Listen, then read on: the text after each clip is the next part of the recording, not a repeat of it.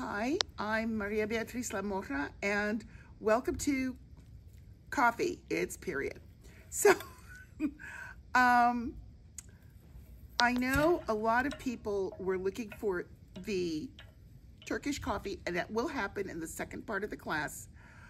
But right now, I would like to demonstrate what I believe is the oldest way of making coffee because they're still doing it. Just like Turkish coffee, they're still doing it. Um, Ethiopian coffee is, I can't imagine that this pot was reinvented in 1920. Um, it is terracotta or earthenware. It's earthenware. Um, and they have special tools to form them so that you can't even see down in it. All right. Um, which makes making this coffee not a science, but an art. You've got to feel, hear, and smell everything happening because you can't see it. Um, right now, I have it on the on the fire because I'm cleaning it out a little bit. But I do have beans because Ethiopian prep coffee preparation starts with roasting the beans. The beans look like this. They're very tiny and they have kind of a citrusy after finish when you when you finally roast them and eat them. And right, I mean, drink them. Right now, I'm just going to throw these into the fire. But the way both the Ethiopians and we can find in Turkey, they roasted their beans was they literally got a scupper or a little tiny pot on a long handle and put it in and kept agitating so they wouldn't scorch. I started these a while ago, um, so they're maybe a third of the way done. Um, some people have asked me in class, do you do it to first crack or second crack? I'm afraid I still don't know what those terms mean. Um, you do it until it's like medium. I was told once you do it till they are dark and shiny and the oils are coming out, but that always delivers a burned test to me. So I have pulled it back to medium brown, all of them. And if you can see right now, they are not evenly colored. They are, some of them are still green, some of them are still brown. Um, so hopefully they will get there eventually. While I am roasting, and it takes a while. But they smell uh, delicious. Yes, they smell delicious. That will come into play later, actually, because that is part of the gift of making coffee for your friends and loved ones, is that why should the commercial coffee roaster get all the fun? So um, the fairy tale, if you will, or the legend of coffee in Ethiopia starts with Kaldi the goat herd. If you mention Kaldi the goat herd to anyone from Ethiopia, it's like mentioning Cinderella here. Everybody knows him. Kaldi the goat herd was tending the goats for a monastery when he noticed that they were eating berries off of a certain bush and getting so hyper he couldn't keep up with them. So, and this is one of the reasons I believe it must be true because young boys will put anything in their mouths and try it. So, since the goats were eating it, the young man tried to eat them and found that he could then keep up with the goats. First caffeine high, folks. So he collected them in his script. And when he had to report into the monastery, he went to the abbot And the abbot praised him for not having lost any goats that year. And he says, Yes, and look, I have these magic berries that will that will give you energy and they taste delicious. And well, no, he didn't say they taste delicious.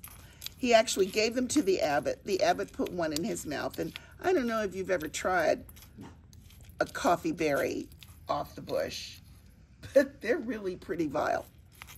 Bitter. and he threw the rest of them into the fire and proceeded to rip poor Kaldi a new one. While he was yelling at him, and apparently the tirade went on for a while because you can see how long it takes these to roast. Um, the smell of roasting coffee came from the fireplace, and he said, Oh, maybe I've been a bit hasty. And he raked them out of the fire and threw them into the bucket of water because they were hot. Um, and that is supposedly how the first coffee was brewed. So with the first coffee being brewed, apparently, um, this is also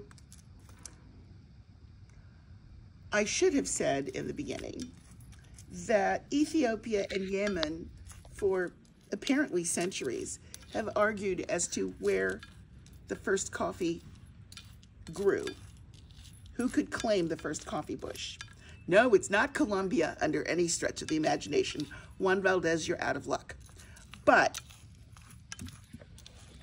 botanical uh, archaeologists, I don't know, a couple of years ago, finally established that yes, it was Ethiopia and not Yemen that had the first coffee bush. They, they first grew on a mountain somewhere in Ethiopia. And Yemen is rather annoyed that it has been proven that they're losing that battle. That, um, but because of that, they are the first people to have been preparing it. And if you look up Ethiopian coffee now, somebody preparing it, you will see them roasting the coffee, them making the coffee in a pot like this, and pouring the coffee. And it's actually a ritual, not as elaborate by any stretch of the imagination as the Japanese tea ceremony, but it's still important. And it still is a way of honoring your guests and your loved ones. When someone goes through the village and announces, announces it's time for the coffee, usually the kid goes out and does that while um, the lady of the house prepares to make the coffee. And the first thing she does is after they arrive, she starts to roast it. If you want to look, this is, it is getting darker, but not, everything isn't brown yet. There's still some green looking here. So I may be agitating it a bit too much for today, but and I am heating this just to give it a good clean out because it's been sitting in storage for a while.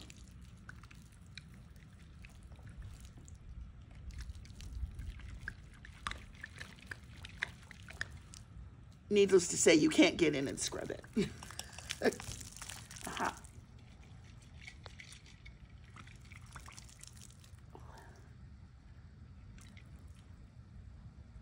Okay. Yeah, smells clean now. Ooh, and I hope I didn't scorch any beans. Um, there are coffee roasters in the Topkapi Palace, which is, you know, the Turkish Museum of all things. And they have little pots on the end of a long thing with usually with a cover on them. And you can find, excuse me, as well, um, when you watch somebody do Ethiopian coffee, I mean, nowadays they don't get anything really fancy, but they'll take like a small cooking pan with a long handle and do it that way.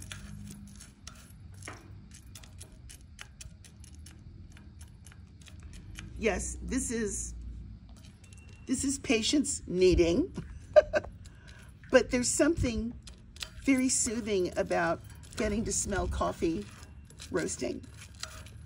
Um,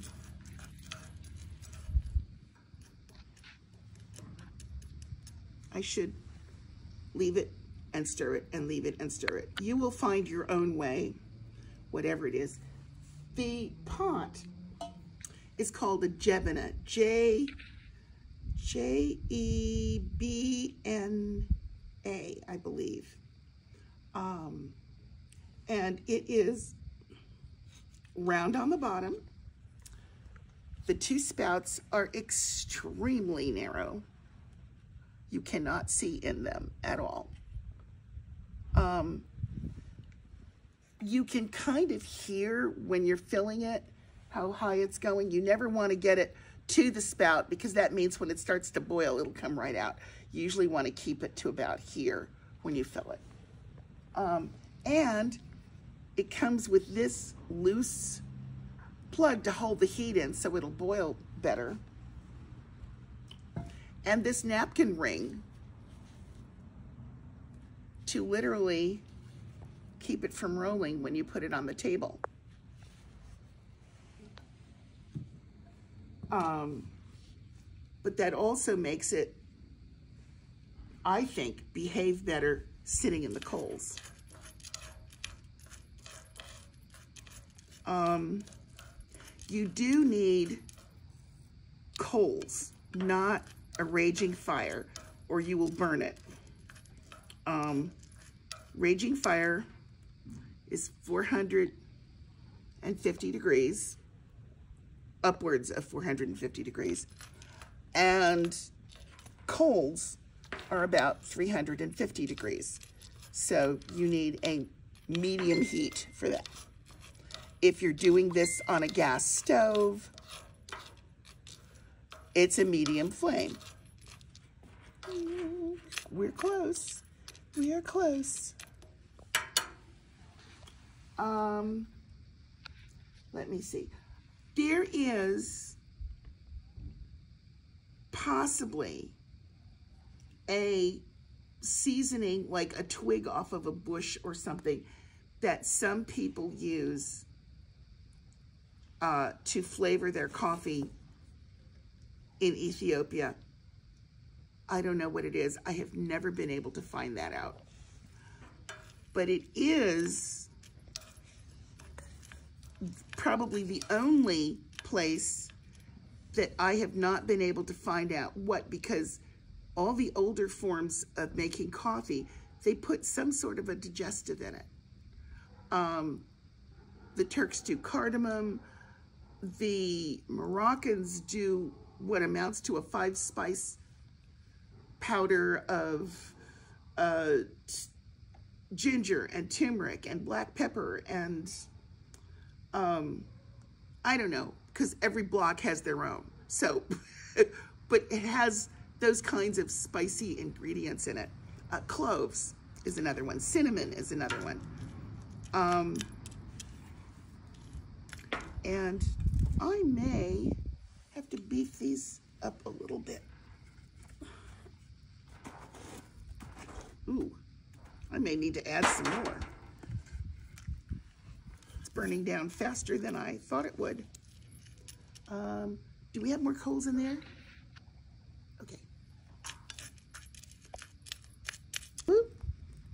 Now, yes, I get smoke in my eyes because I never, the smoke always follows me no matter where I sit on the circle, so it doesn't make any difference. um, I would advise you, if you wear contacts, to not to do it with contacts or to do it with goggles. Um, we are getting darker. I don't know if you want to, but they are getting, some of them are going to be really, really dark, but I'd like even the green ones to definitely be brown before we go to the next step. Um, you will see a mortar, mortar and pestle over there, which is what I am going to grind the coffee with. Um, and funny thing about this shape mortar and pestle, my mother grew up in Puerto Rico and um, I always remember her having a deep mortar and pestle like that. I did not realize that wasn't the shape everybody had. um, and when I came here, the one place I could find them was in Latin American stores. You can find them made by a company called Imusa, or you can get somebody really cool to carve you one. In general, the deep ones are African influenced. And there's a couple of things. Uh, one is, ooh, gosh, I hope that was, that's a husk from a coffee bean and not the wings of something that flew in. that's okay. It's getting cooked. It's all pure. Gorgeous color. Yeah. Yeah, that's, this is my favorite. And it's, yeah, we're almost there. Um, the, uh, apparently, when I was learning something about um, African American uh, enslaved life, this is the shape that people remembered to carve for their own use uh, when they were here. And somebody walked into uh, a lecture with one hand carved, only it was like, it was as big as somebody's head. And I don't know what they had decided to do that, use that for, but, um, you know, he, he talked about how these were common in, in Africa. And uh, somewhere, and I wish I could find the recording again, there is a recording of three people with huge pestles. I mean, like the size of shillelaghs in one great big wooden, and they are all, they're playing music because each shillelagh makes a slightly different tone and the three of them are alternating. when it's the most amazing thing, and I, I would really love to know where that was and you know what local area that was. But I've never found it again. I stumbled on it once in a recording on a radio. And by the time I wrote them, the radio had gone out of business. And nobody could tell me anything. Okay, so they are now as roasted as I want them because if they get really, really black, they taste burnt. Um, the next thing you would do is to take this around to your guests and let them inhale the lovely smell. Mm. Mm. Yes. Because that is also a gift to your guests. Then you can see I've been doing coffee in this one for a while because it's like stained on the inside. um, that also helps them cool a little bit before you start cracking them.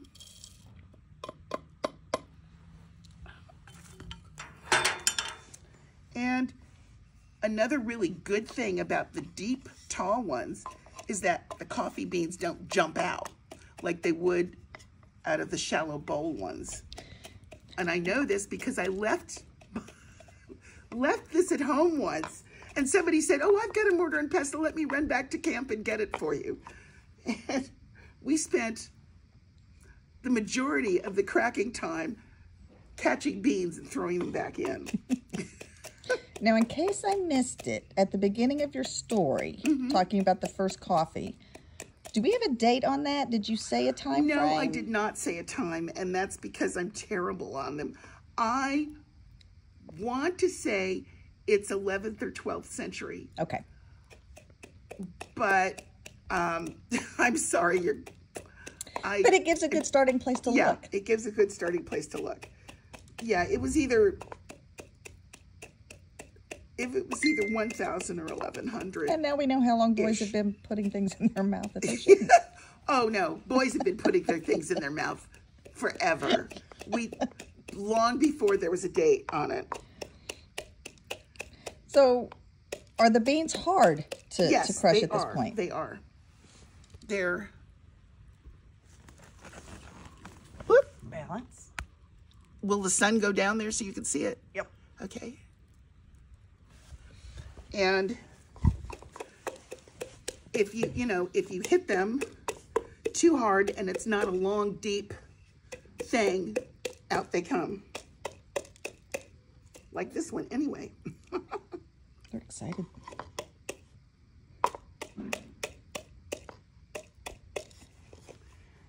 Um, somewhere on somewhere on YouTube there's a short video of a little girl. She can't be more than 3 I think she's 2 and she's dressed in a lovely white dress with stripes on it stripe trim on it as is traditional in Ethiopia. And obviously she has not made the coffee but she is being encouraged to pour her first coffee. And she's all dressed up and it's all set up. And she picks up the pot and actually manages to pour it in a little cup. Whereupon the crowd goes wild. Okay. Apparently, grandma and auntie and daddy are all there. And daddy, like, immediately runs in and grabs the pot from her and kisses her all over because she's done such a good job. and the kid's like, what? But that's really a big deal It's in the big deal. tradition and the rituality of yes, it. yeah, it's really a big deal. And it sounds like they ingrain it really early Oh, yeah. so that it's like you've never not known it. Yeah, you, you, it just, well, when you think about it, aiming something from a tiny little spout like this into a tiny little cup like that, well, little girls haven't had any practice with it. um, yeah, a little bit more. The other thing is, you don't want them to swell so that they won't come back out. so they have to be. Um, this is probably my favorite part. um, because you can get your aggressions out and still have a reward at the end, which is nice coffee smell.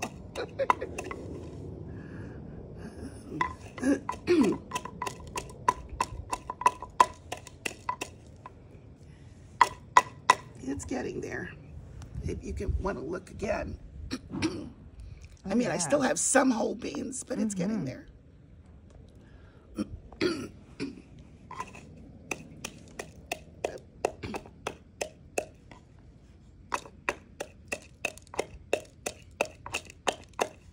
So we have Ethiopian coffee and then we have Turkish coffee. How many other types of, if I'm asking this correctly, How for that other- region, how many other, ty- or just in general, how, f- which direction did it spread next or how many do we have? That's a good question. And I, I mean, there is, there's documentation of the 16th century um, coffee being such a thing in Turkey that there are now guilds for ta- coffee houses. Um, there is many, many, many years ago when I started on this journey, somebody showed me a painting without any references at all. It was obviously an older painting. I was told it was 16th century of this little house that was obviously a coffee house. There is the barista is standing at a counter and he has little pots. And he's obviously making coffee, although the heat source is not obvious, but that's what he's doing. And then there are a bunch of men sitting around enjoying bowls of coffee. And there seems to be a waiting line to get in at the door because there are several people standing facing in. There's also seems to be a wall removed so that we can see the whole scene. And there are wheels underneath the floor. And then there's either one or two men, it, it, definitely not enough for the job, pulling this thing by, you know, ropes or something, straps or something. And it's in a city street, obviously. I assumed in my ignorance that it was a rolling Starbucks. I mean, what else do you think? years and years and years later, the amazing captain of the uh, Turkish marching band, general of the Turkish marching band, if you will, Osman, uh, explained to me that this was actually a page out of a festival book in Turkey where each of the guilds in the town in support of the Sultan's heir's circumcision had done this parade with these incredible, and someone had drawn the pictures to record it. And one of them was the Coffee Guild, and they had a rolling coffee house to show the Coffee Guild. Um, there is another one I've been shown since then of the Glassblowers Guild where they actually have a little kiln on the float and they're blowing glass and people are parading next to them holding a bunch of examples. Um, so in to say again how many other coffees there are and which way it's spread, I really don't know. I I'm supposing it traveled kind of both ways at the same time because the Moroccans definitely have it. We know that the Amazigh or the Berbers definitely have a coffee tradition. Um, and we know that by the time the Turks got to um, Hungary and Austria, you know, they left the coffee tradition there. But that was 1700. Or, yeah, that was 1700. So I think we are ready. Let me see. Um, oh. You know what I did not bring was a piece of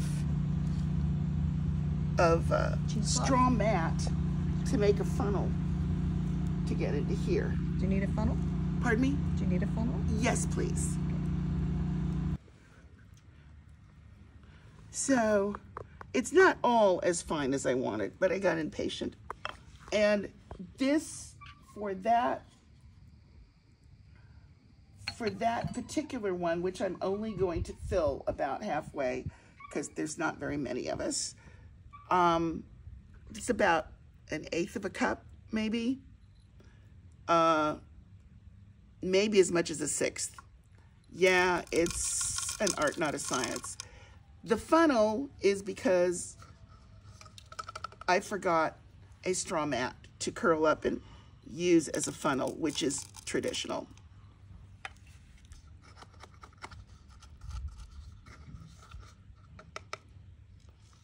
This is what happens when you are impatient and you don't grind it fine enough.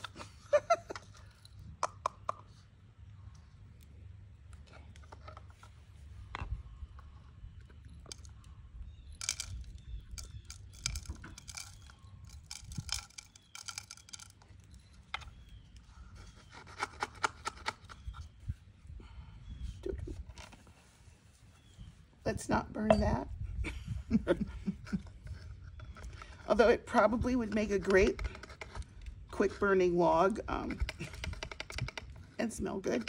So we talked about the different spices that the different areas used. The Hungarians, for instance, use cinnamon.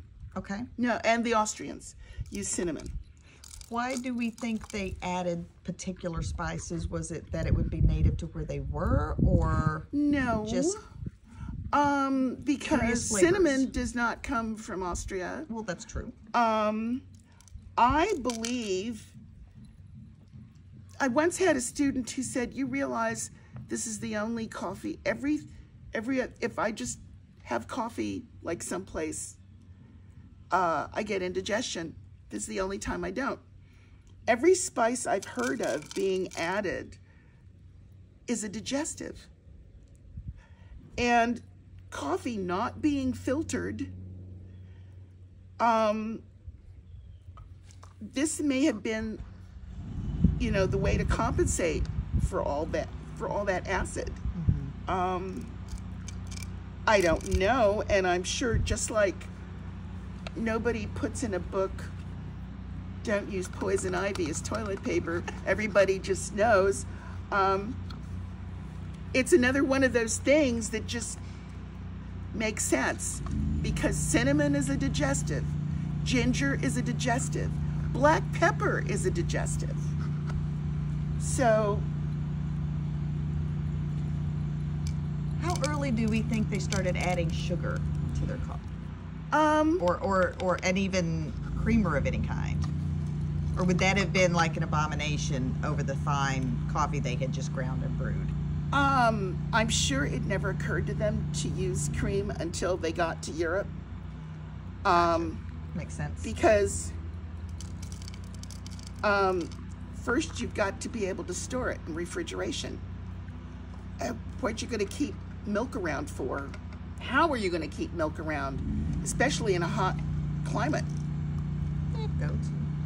Well, you know, have excuse. We have our goat standing right over there. Stand in line for dis- the dispenser of the milk. Um, and as far as sugar is concerned, they had sugar, but um, it was, you know, it was for the very rich, you know, kind of like, I don't know if there was someplace there's a thing that says, oh yes, to cook mangoes, but don't cook mangoes because the only mango tree is in the Sultan's yard, and if you're cooking mangoes, you're against the law, right? um, the coffee we have today is such an interesting departure from where it began and what people will do. well, yeah, start with filters, you know. well, there's that. Now, everybody uses paper filters now. When my mother was a kid in Puerto Rico, and they do make coffee as strong as anything Arabic, but they used to have a sock.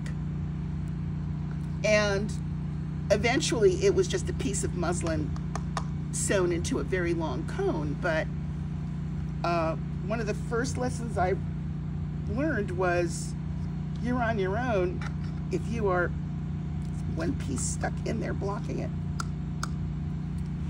Um, if you're silly enough to wash it with soap and water, your life is in your somebody else's hands. um, and I don't know where the Puerto Ricans ended up using something to filter.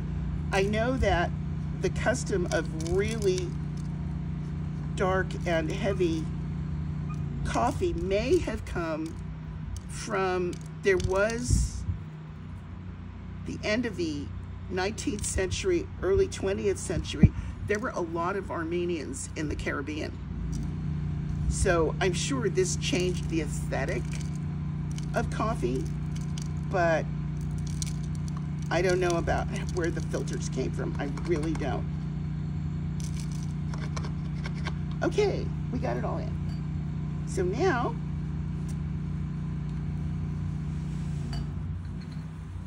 we will pour water.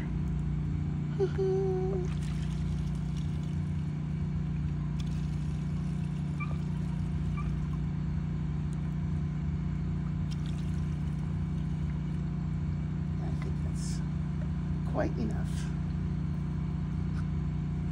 And set it here to cook. And that will take a while. And of course, we're not going to watch grass grow. So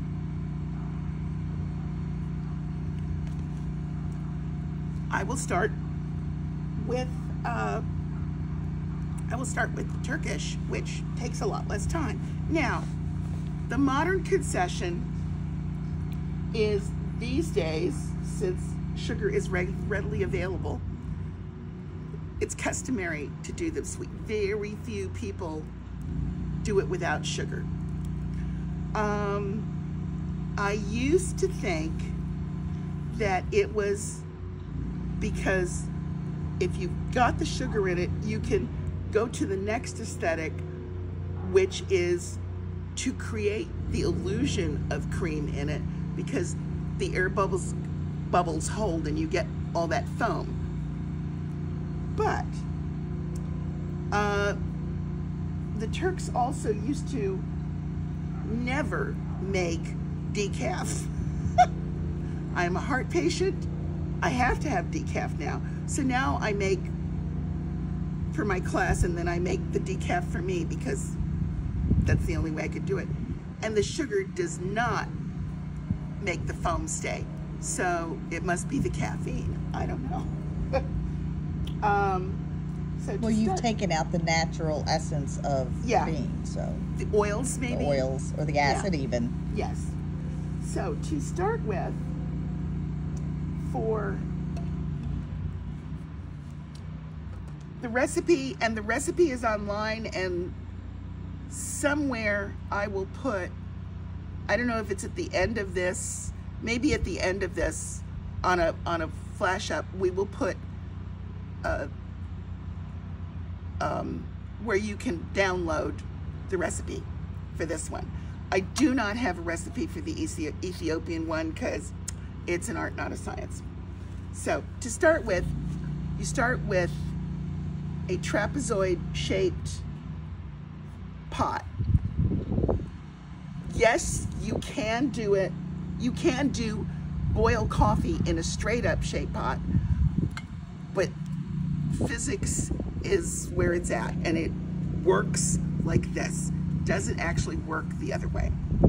Um, you will have whatever shape you have and to measure how much it's going to take, you're going to, hmm, this is going to get interesting. Um,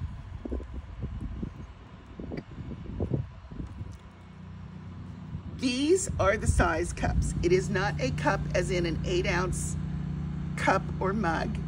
These are the size cups, which are what? Two and a half, three ounces maybe? Okay. Big shot. Yeah, a shot. Yes, a shot glass of coffee. There you go. It is strong enough so that that works. And you're going to pour it in. you never want to get higher than the neck with the water because it will foam and it'll boil over if you fill it to the top.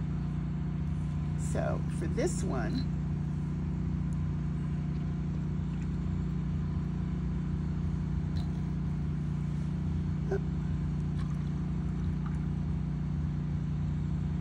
eh, I'm going to pretend, and I'm going to do the, the next one only a half.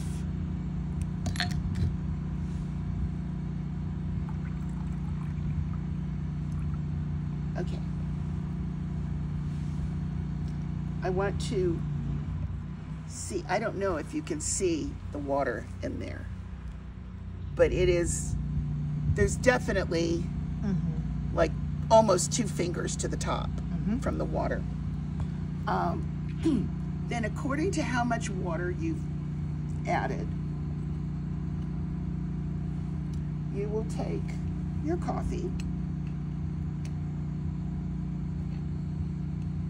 and add, yes, I know it's a lot, one generous teaspoon for each of those coffee cups that you've measured water in.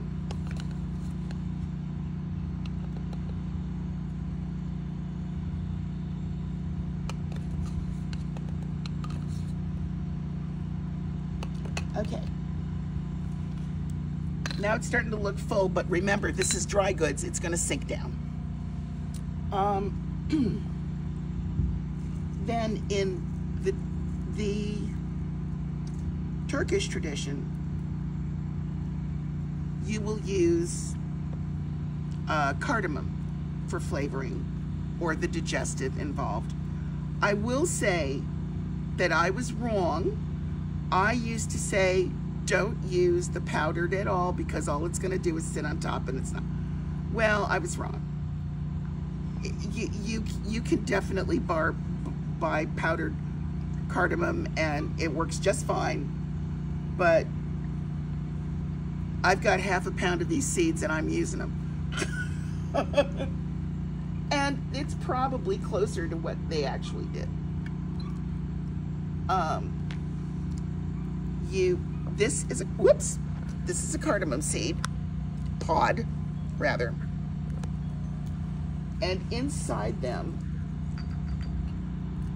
are seeds. I like to add at least two per cup or two per serving.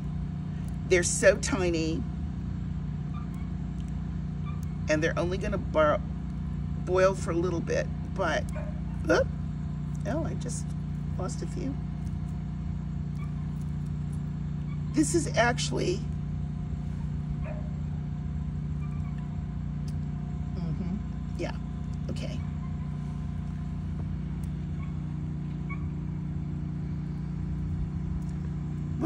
Well, it's a good thing they burn. and we probably need to add, uh, we'll probably need to add a little bit more coal. So these are the seeds from like two different seed pods. Sometimes they come out stuck together, like this one, looking like, you know, a pod, a very miniature pod for the pod people. And sometimes they break apart, like this. Now, I have friends who like to squash them before they put them in. I don't see the, uh, the point, um, and I don't bother. So they're going to go in, and yeah, it's a random amount, but more is more. um, and then these days,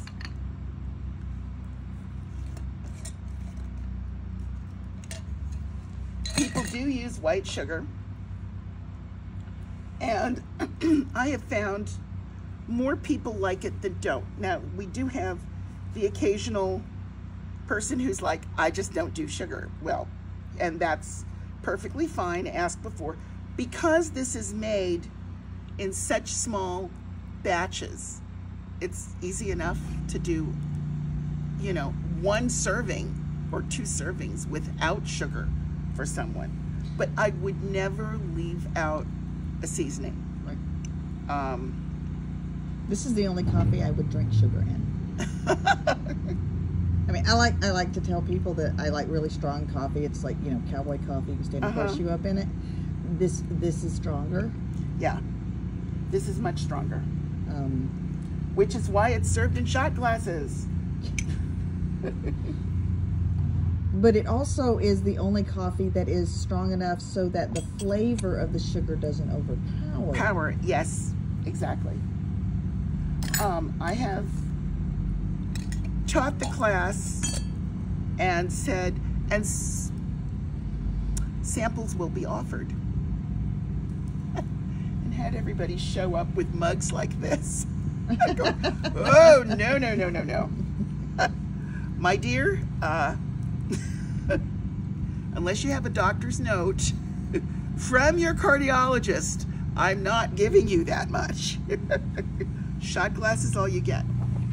Um, so, because I am concerned that this will, it's not boiling yet. Mm-hmm. So, I will go ahead and leave it on. And put this in. If you see right now, all the, all the, the powdered, all the dry goods have sunk to the bottom. Mm-hmm. And we still have about a finger's width on top. So,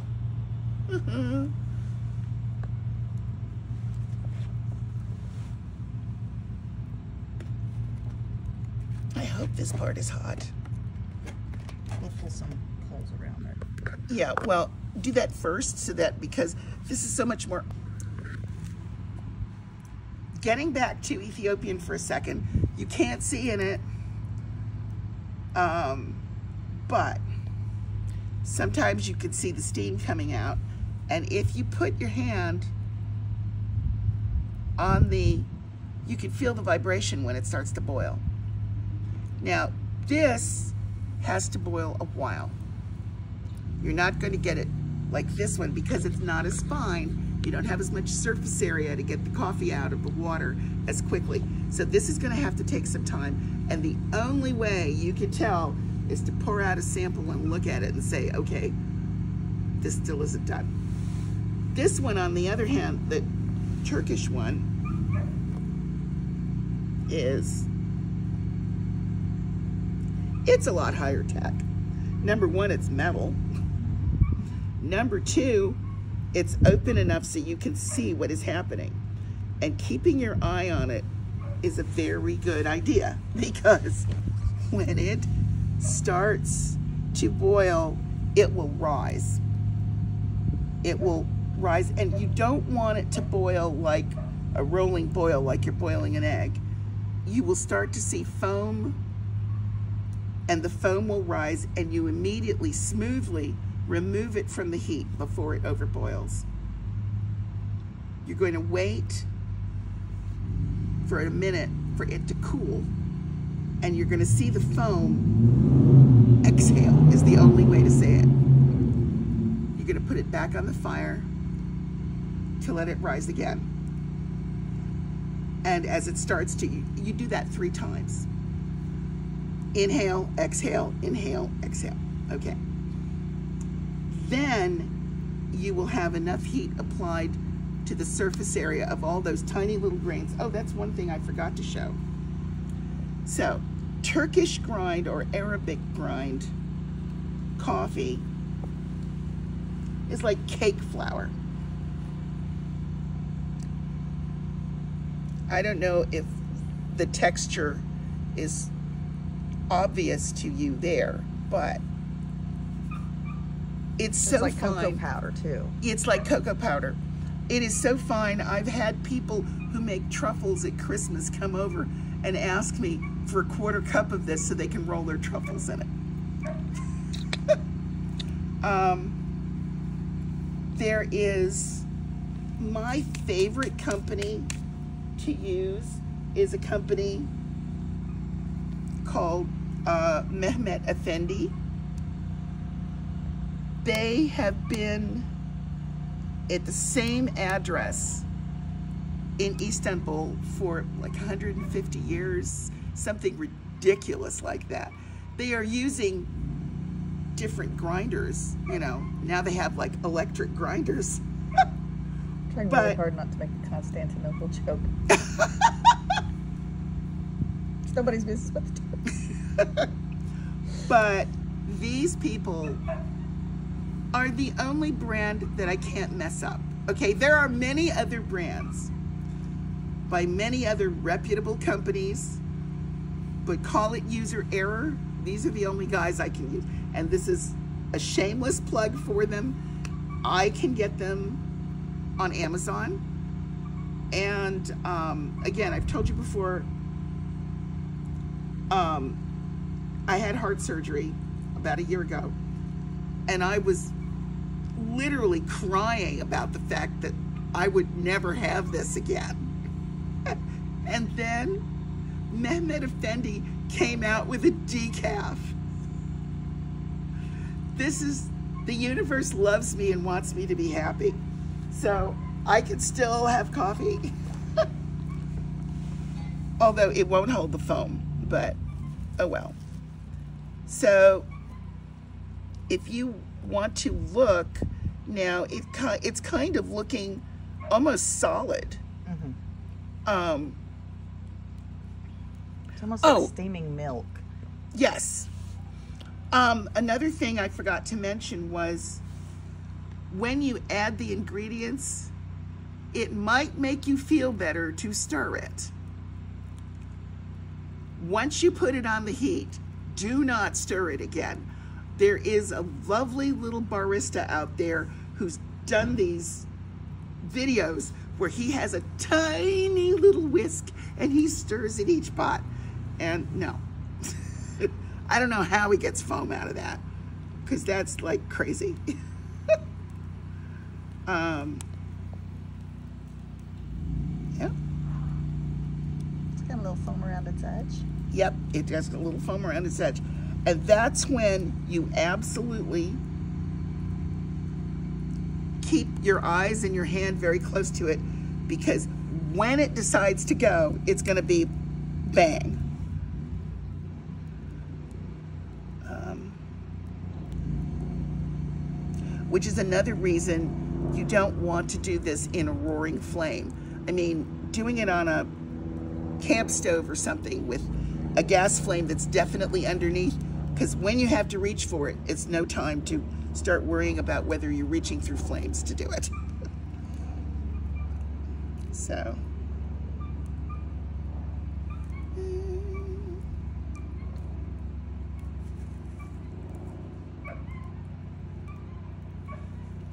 if nothing else, it's a really great excuse to just sit out next to a campfire. Yes, it is. It is. And I actually have a tiny little brazier from Kenya um, that I could take around to any place, whether they have a campfire or not, and do it. There is also, did you see the little brass thingy? There's the little, no, that's not the little brass thingy. There's the little brass thingy. This looks like a Bunsen burner, and quite frankly, that's pretty much what it is. Those little feet actually are there to support a pot.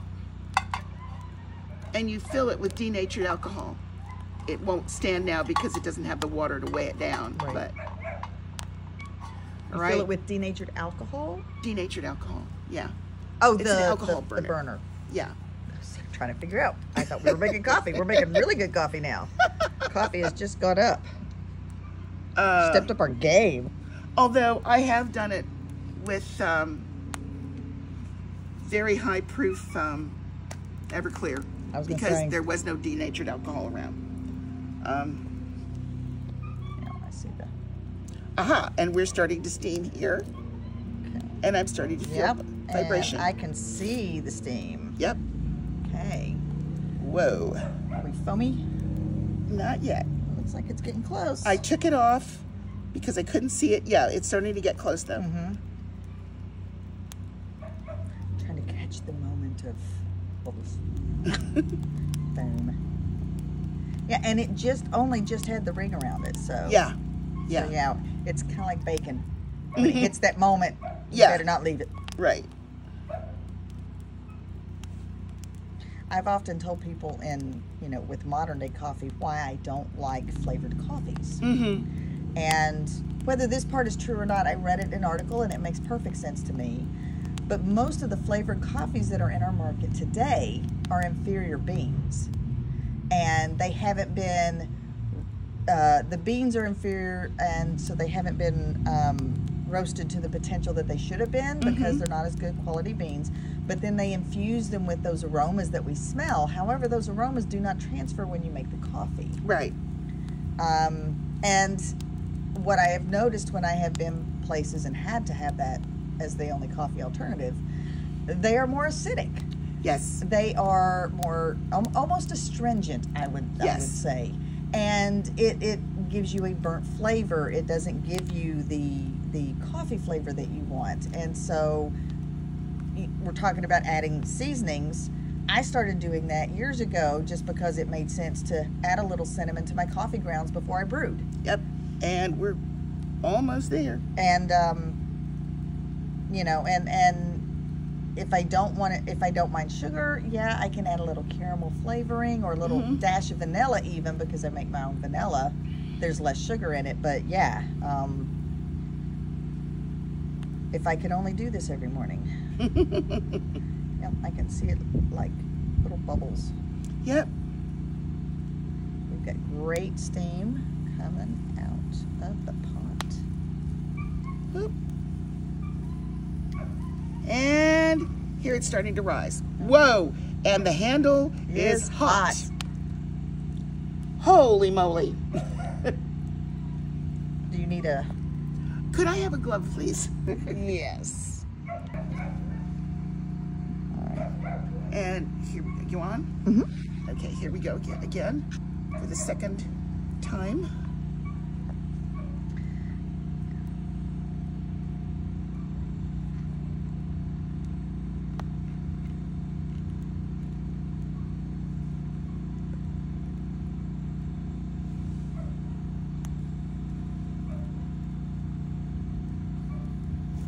It really doesn't take long to start bubbling again. No, it doesn't. But it's foam. If you see big bubbles like fish bubbles, Mm-hmm. it's it's done. Um, if you want foam, you're gonna have to start a second one. Right.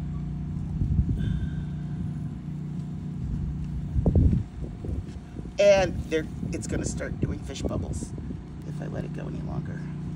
Okay. And this Okay, is and three. one- this is actually the second one. There was one where I just adjusted my hand and it wasn't really out long enough to cool. Okay.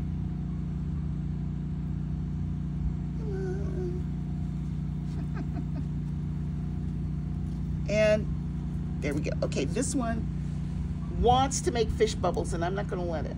Okay. So there's that.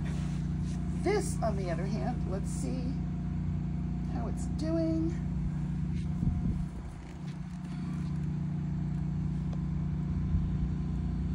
Actually, that's not bad.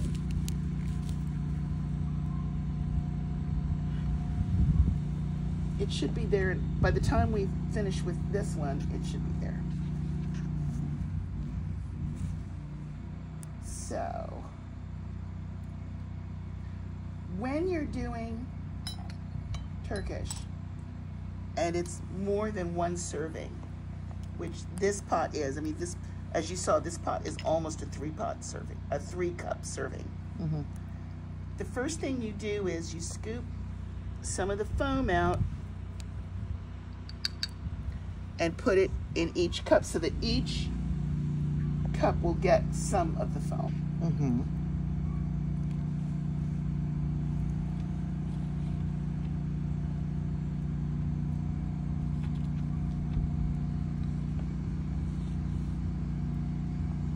Does that also give it more room to rise when you put it on again? Oh, I'm not putting it on again. Oh, okay. no. It's No, done. I'm done. okay. Um, no, it's just to make sure that everybody gets some of it. Because if you pour it, the first one goes and then you don't have any more. Right. Um,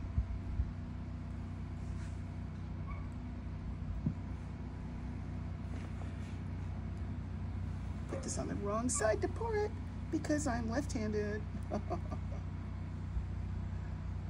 but it's a right-handed spout. Wow, look how bright that is. and the the foam will take its proper place at the top as you pour the coffee in. Lovely.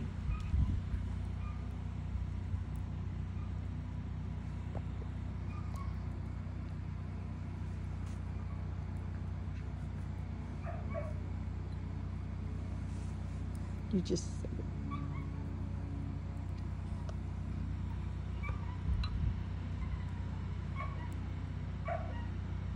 There you go. These cups are shaped this way because it's hotter than hot when you get it off and there's no handle. However, the lip, because it's wider and thinner, dissipates the heat. So that's why the proper way to hold these cups is by the ridge. And I will pass one to you, but, I- oops. I don't know if you want to film down in it or. And I'm allowed to take one sip from this before I start getting yelled at. So, is there a salute? Is there a a? As far as I know, there is not. And um,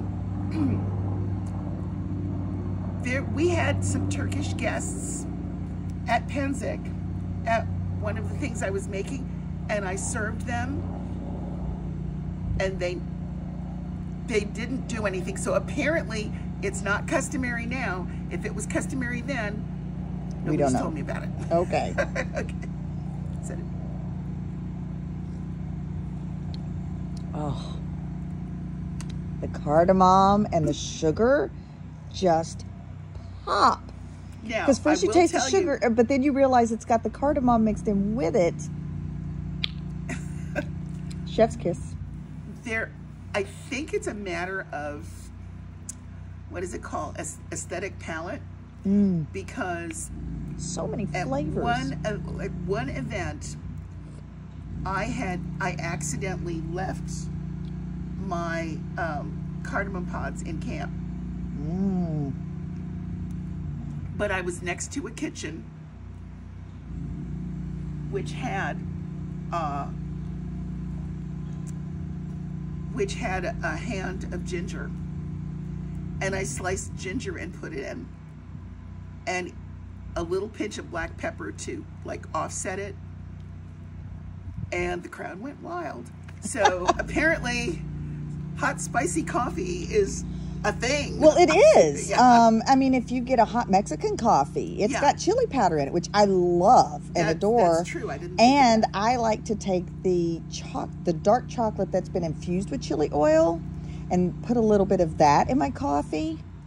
Mm. The coffee accentuates the chocolate, and the chili oil just bats in all of it. Now, this is better than a lot of places where I've had it.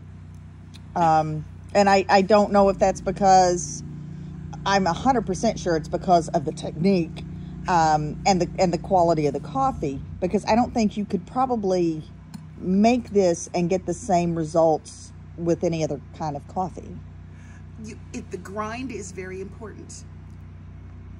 The grind That is makes very much Some sense. people say, "Oh, I've got some uh, Bustelo here," and And that's Yeah. dark, but it's not. it's dark, but it's not ground fine enough. you have to go, yeah. You eat, but and by the time you filter it, you don't get that much. So if you've got a grinder, and there are these adorable little grinders you could get on online hmm that look like a pepper mill, but the burrs are for doing Arabic coffee, and it comes out really, really fine. Do you have one?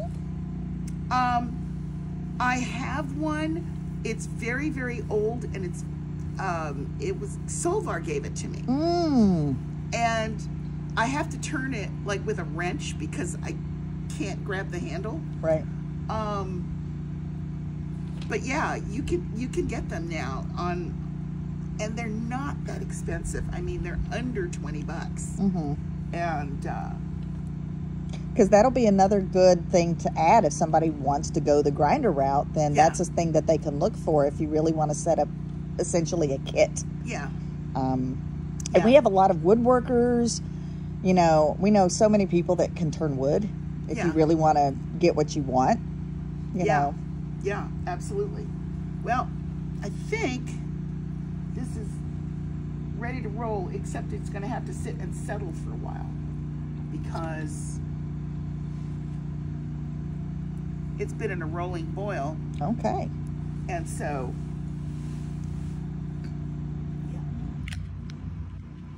Um, as far as the cups are concerned, Mm-hmm. um, they're not all the same size. I mean, that one is probably half an ounce to half an ounce bigger than this one. I don't know why. uh, it's just the manufacturer. Um, Is it wider?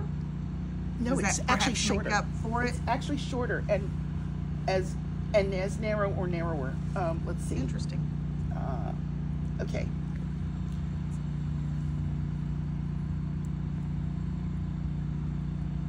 It is shorter, and Oh, it's okay. definitely Interesting. not that much wider, um, but it holds a little bit less. Mm-hmm. So always measure with the cups you have uh, into the pot with the water. That's extremely important. Yeah, the cups you're going to use are going to be what would you What? get? Yeah. Um,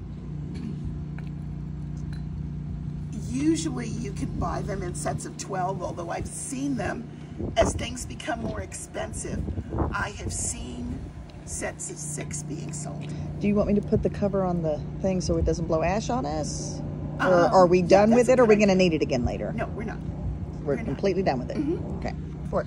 Now, traditionally, these would the cups would be set out in a tray, and it would be poured from way up here. Doesn't appear as dark. It isn't, and I didn't roast it as dark either. Ah, Um, remember, I only went to medium. that is true.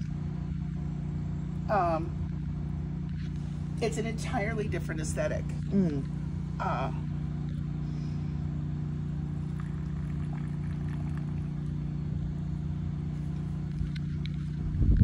okay, now tradition is to offer both sugar and salt. And I was, I thought at first, that's madness. but then I had to remember I was taught when brewing coffee through the sock to put a pinch of salt in it Mm. to bring the flavors out. Okay. So, I'm going to take your recommendation on what goes into the cup. Um, and with these tiny cups, it is literally Pinch. a, a few grains. I mean,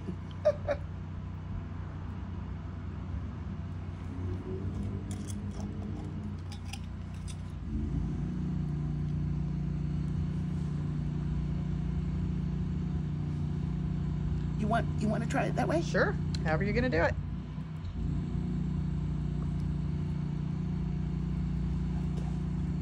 I've put salt on weirder things.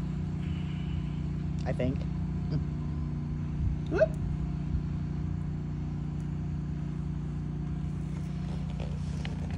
Oh, oh, oh, no, no, no. I'm not going to let you catch it like that because it's going to be too hot. Oh, I'm good. Okay. Baker's hands. All right. Even the it, the smell is different. It's different. It's a d- entirely- completely different It's experience. different experience. Yeah. That's right.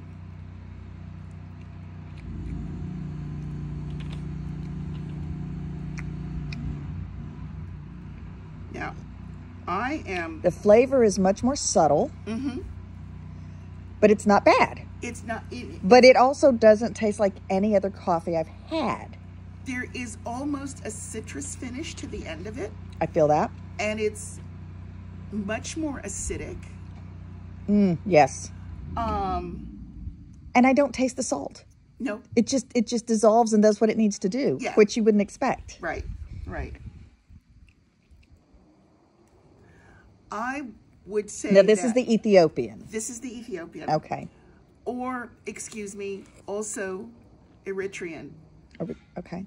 because uh, Ethiopia has never been influenced or mm-hmm. conquered by another country, but Eritrea was, mm. and it's the other half of, and so culturally things are a little bit different, although they pretty much stick to the same coffee thing, except I have seen coffee pots from Eritrea that are probably meant just to serve it in that are porcelain. They're not terracotta. And they're they're gorgeous, but I would never put that in the fire. Right, right. Um, And it seems like you would want to serve it from the pot that you brewed it in because that's where, you know, it is best. yeah, I don't know, but it, it, I think it was the Italians who had Eritrea for a long time. Um, I have to look it up, but I believe because Othello was called an Ethiopian. Mm-hmm. Got to figure out if that links the story somewhere. And if any of you write to me and tell me if you know where to look that up.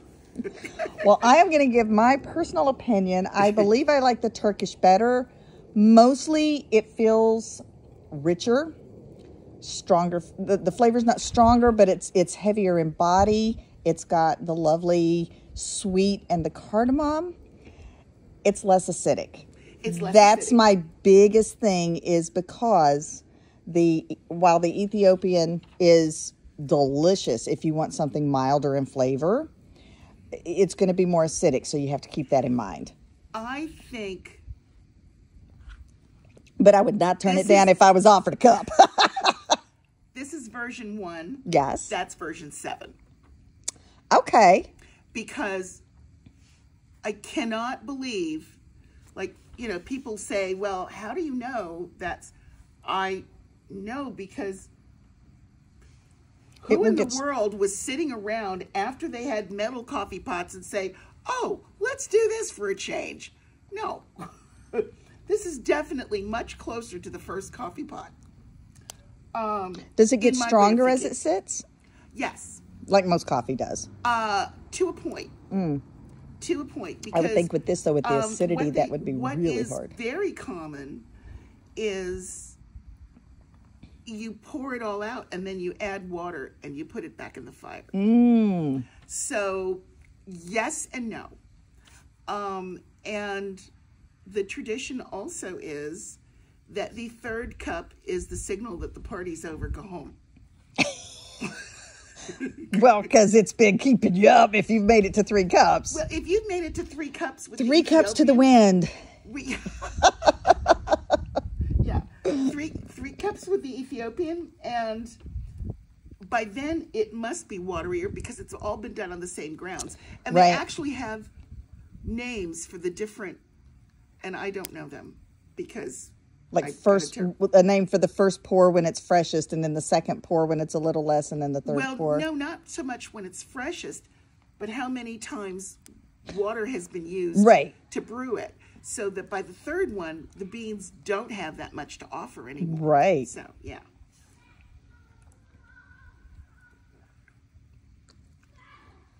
Yep. Yep, like I said, wouldn't turn it down if somebody offered it to me. So, so um, this is all I have. If you were trying to put your own kit together, um,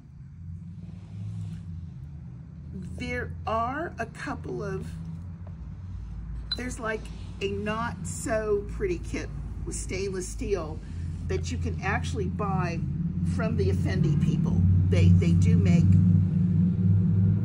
a, a pot a small can of coffee for like I don't know, twenty bucks or something. But you don't get you don't get the cups and um, and you don't get the cardamom seeds with them.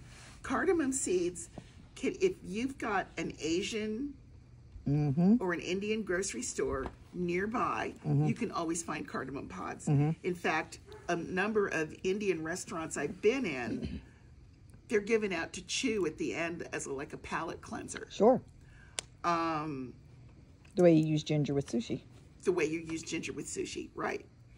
There is, um, You can, like I said before, you could get the sets of cups in either 12 or 6. Um, So there doesn't seem to be anyone who sells all of it at the same time. You have to. well, I do in my classes because it, my classes in person, I mean, where are you going to get it? in the middle of a campground. Right. So I will bring I will bring kits Mm-hmm. and they will have coffee cups and pots and the pot and sugar and spices and and it will be in a container so you can actually take it back to camp without dropping anything. Um, Now, do you do you have a class fee for those kits? what what I have is the kits because I can never get all the pots the same size. Right. So according to the pot and how many cups it makes, so I've got that many cups and so forth, and how much coffee, they're different prices according to Sure, the sizes they are. but they're but they get to walk home and Yeah. say, "I've got the kit now, and I can learn I to can do this." It. Yes, and they Yeah, that's great. The rest of them, um, and I'm sure you know you could go on Amazon. There was a place I used to order stuff from called Bosphorus Market on the internet, and they were they're a Turkish mail order place, and they've got oh my gosh, rabbit hole, rabbit hole. Um, but I'm sure there are a couple of other companies like that. However, um, ordering things from overseas right now is a pain in the snoot.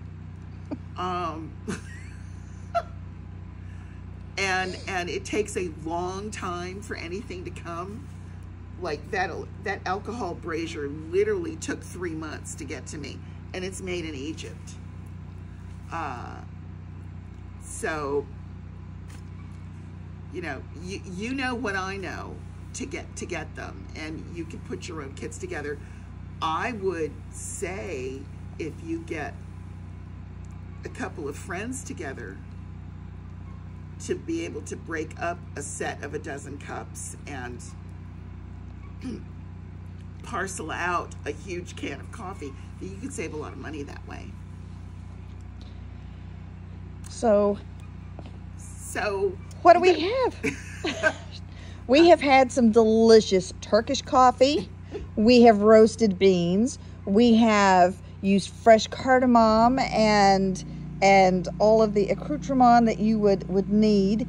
And I think we need to teach baristas this. and if I'm gonna go pay that for a cup of coffee, this is what I want. Um, there used to be, I don't know what is happening anymore. There used to be a, a place at Pennsic that did a bunch of other things, but the Turkish coffee, they had a little spot that just did Turkish coffee on a little gas stove. and had the longest queue. Yeah, they had the longest queue. Um, and and you know it was expensive, but people like the uh, the Australians would get in with um, hideous jet lag, Mm-hmm. and they'd walk in the moment they unpacked. Double shot of Turkish. Yep. So So tell us who you, are again. for watching. And if you've got any questions, go ahead and ask me. I may not have the answer, but somebody else may have written in with the answer. So, thank you.